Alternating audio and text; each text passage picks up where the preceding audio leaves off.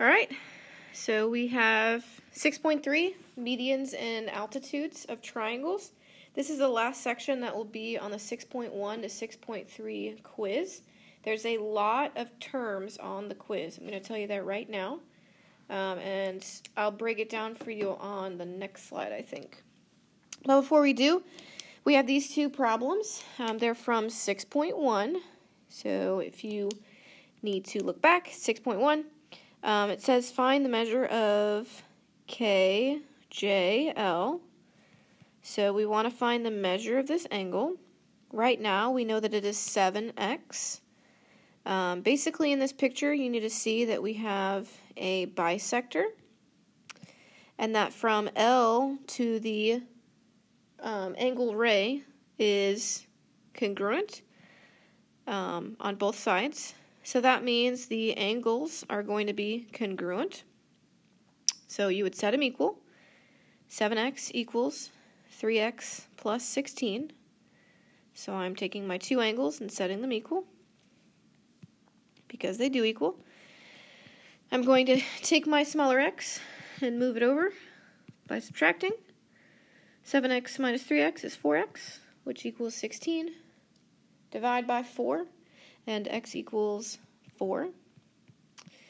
Um, it wants me to find the measure of angle KJL. So again, KJL um, is currently 7 times x. So we're going to plug in x, which is 4. And 7 times 4 is 28 degrees. You can always check by plugging it into the other angle. So 3 times 4 plus 16. 3 times 4 is 12, plus 16 is 28. So either way, um, it's a good way to check yourself. This next one, it tells you that you have two angles that are congruent, which means again you have a bisector. And from a point on the bisector to the rays are going to be congruent. So you would set them equal. Um, we're going to take the smaller x and move it over. So 11 equals 2x plus 1. Subtract 1. 2x equals 10. Divide by 2 and x equals 5. It wants me to find the length of FG, which is x plus 11. So I'm going to plug in x. So it would be 5 plus 11. So the length of FG is 16. Again, you can always plug it into the other. 3 times 5 is 15, plus 1 is still 16. So it's a good way to check yourself. Make sure you're getting them right. We're going to move on to new-ish material. This is this part's kind of review, um, but all of these are on your quiz. So you haven't learned about a median or an altitude, but you have learned about a perpendicular bisector and an angle bisector. So you're going to need to make sure you study this or make flashcards or something that extent. Starting with a perpendicular bisector, it is perpendicular to a segment at its midpoint. Um, it bisects segments. Um, it You can go ahead and write that in and I'll show you what it looks like.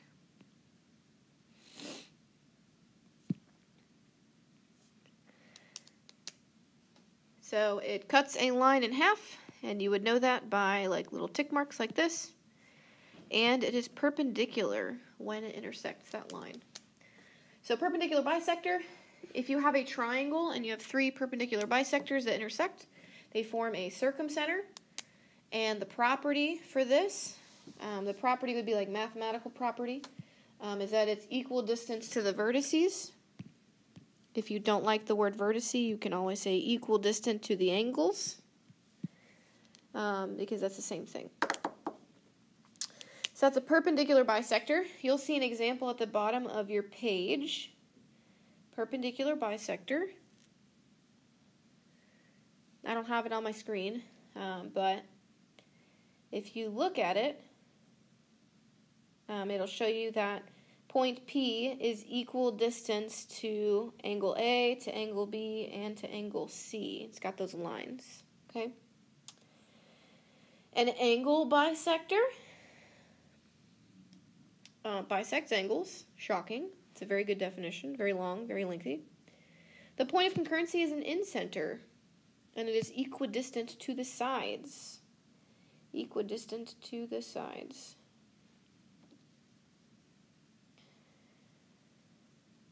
So again, you have a picture at the bottom of the page, um, and it shows that it's got lines, little tick marks, um, from the center to the sides of the triangle.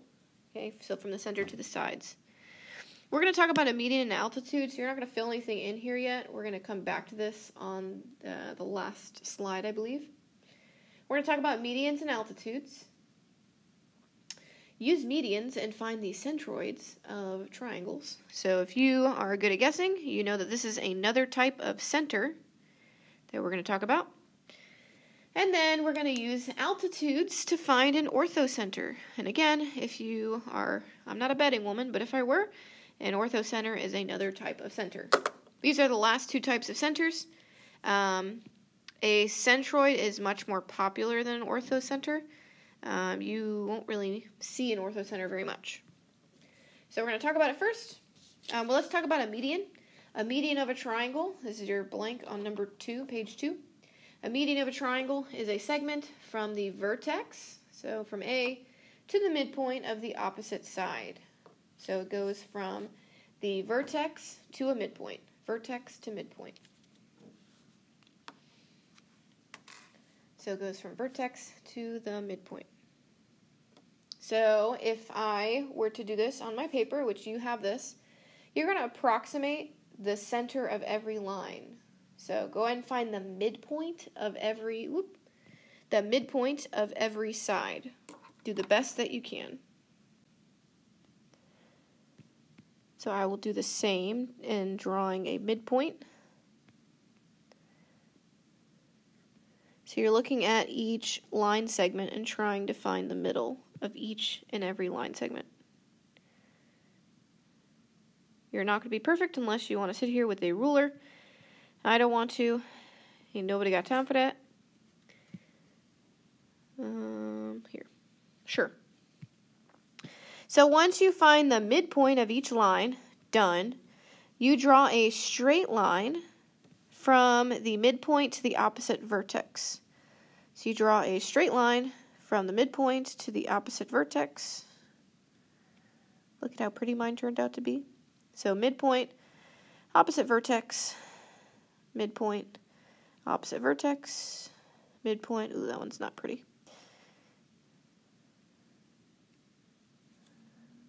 It is what it is. So, um, once you do that, the point of concurrency is called the centroid. So the point where all of them intersect is called a centroid.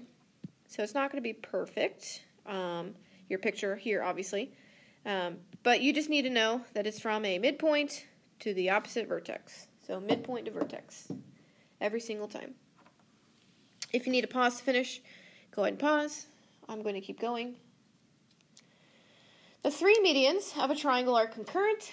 The point of concurrency is called the centroid, and the centroid is always inside of the triangle. So go ahead and write that it's always inside of the triangle.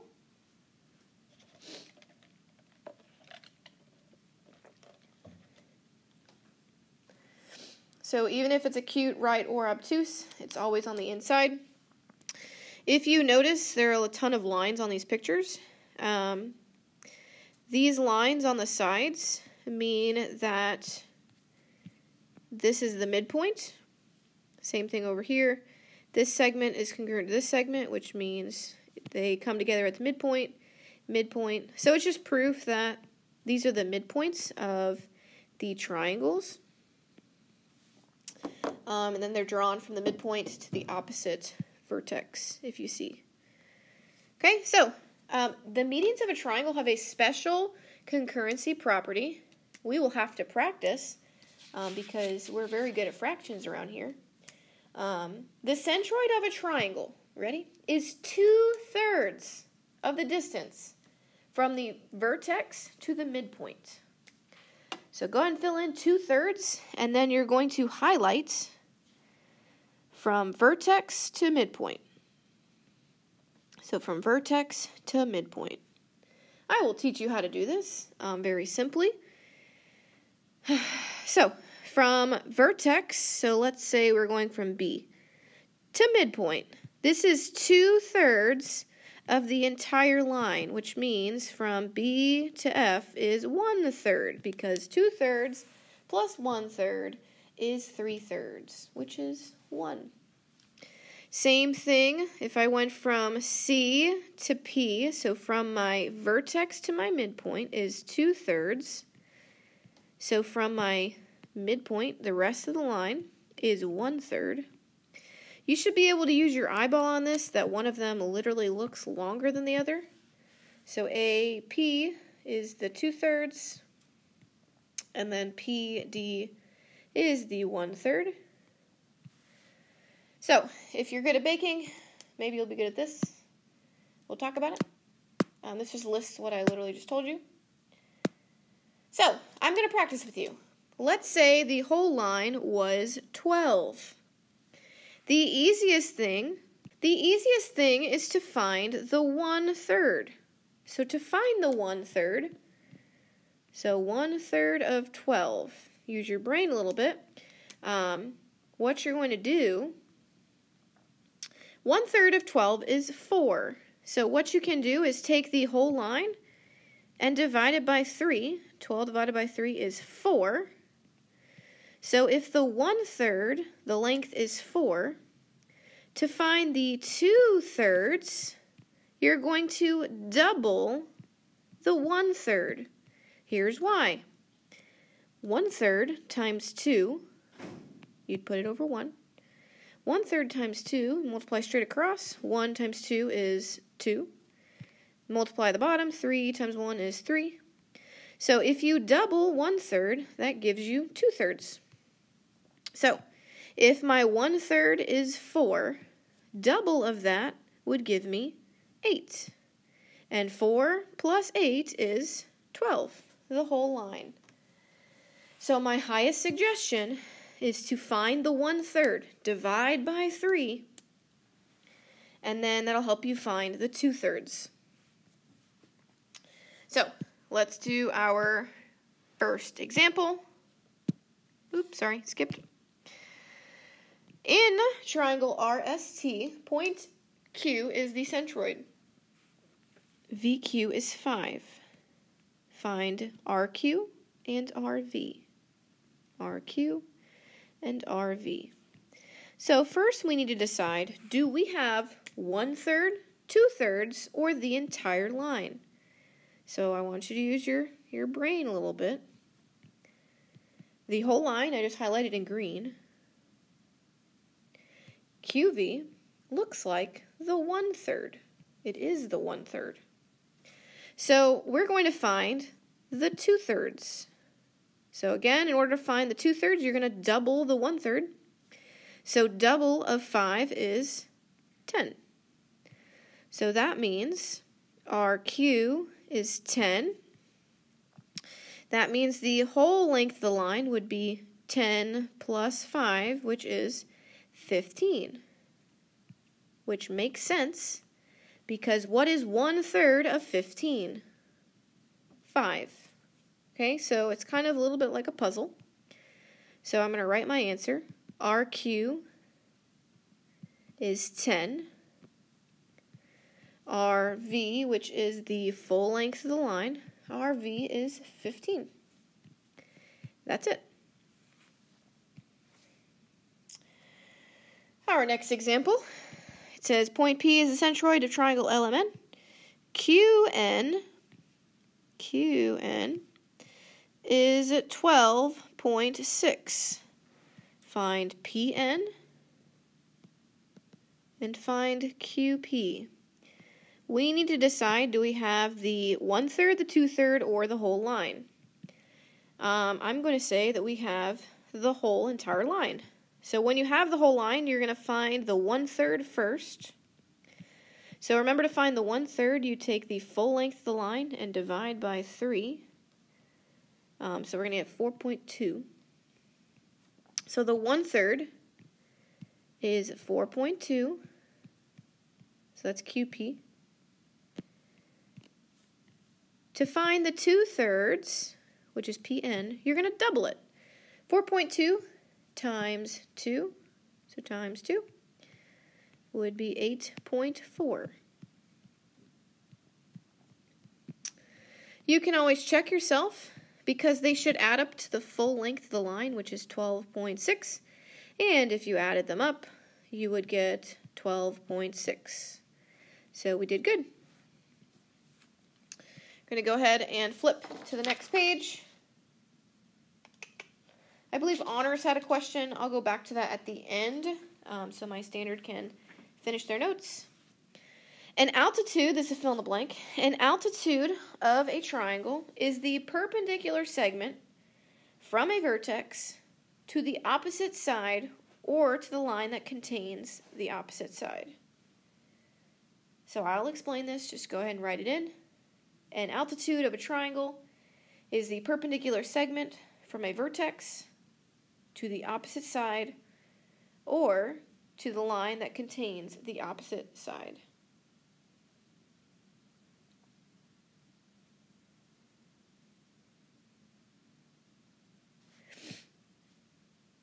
Every triangle has three altitudes. The lines containing the altitudes are concurrent. The intersection at that point is called the orthocenter. Um, and then an orthocenter can lie inside, on the side, or outside of your triangle. So, here's what you need to know about an orthocenter. This is a vocabulary word you just need to know. Um, there's no mathematical property um, all you need to know is that an altitude, an altitude forms an orthocenter. An altitude is a perpendicular segment. So basically, you go from a vertex to the opposite segment, um, and it needs to be perpendicular with the opposite segment. So this is different than a perpendicular bisector because this segment is not in the middle of the line. This side is clearly larger than this side, so an altitude is just a segment from a vertex perpendicularly to the opposite side. Okay, and then where all three of these connect, this is called an orthocenter. Um, so again, there's really no math involved with an orthocenter. You just need to attach these two words together and be able to pick out an um, a perpendicular by or a perpendicular segment. That's it. We'll go back to the first page for my standard um, and fill in the rest. So we have a median. A median is a segment that goes from the vertex to the midpoint. Um, it's supposed to say of opposite side. To the midpoint of opposite side. So a median goes from a vertex to the midpoint of the opposite side. Um, the point of concurrency, so where all of the medians intersect in a triangle, is called a centroid. And then the mathematical property is that it is two thirds the distance from the vertex to the side. So two thirds from vertex to side. Two thirds from vertex to side. Last one is an altitude. It's a segment from the vertex perpendicular to the side or line containing a side. It creates an orthocenter, and there's no mathematical property. So go ahead and pause if you need to. This is where my standard will stop. My honors, we have one more problem. It is on page 4. We will finish this. Point D is the centroid of ABC.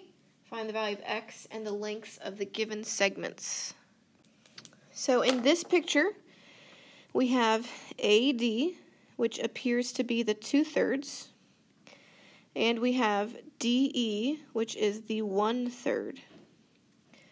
So what we know is that if we took DE and multiplied it times 2, that would equal um, AD. So again, if we took DE and multiplied it, I'll write it over here, multiplied it times 2, that would give us the length of AD. So we're going to use what they gave us and um, plug in. So 2 times DE, the length of DE, which they gave us as 3x minus 2, equals the length of AD, which is 5x. So now that we have this, you're going to solve. We're going to distribute. 2 times 3x is 6x. 2 times negative 2 is negative 4. So you could do this a couple ways. We always move the smaller x, which is perfectly fine, um, except for you'd have nothing over here. Um, you can do that if you want to. Here's where people make a mistake. 6x minus 5x is x. Drop down your negative 4. 5x minus 5x is 0. So there's still a number on the right side of the equal sign. Um, we're going to add 4, and x equals 4. So x equals 4. So any way you would have solved it, you would have gotten x equals 4, and that's fine. And then it says find the given lengths. So AD is equal to 5 times 4. So AD equals 20. DE, so DE was the one third. It should be about half of 20, which is 10. So let's see. 3 times 4 minus 2. 3 times 4 is 12, minus 2 is 10. So perfect. So we got 20 and 10. The full length of the line would be 30. Um, a third of 30 is 10. It all works out. So this is 6.3. Thank you for watching.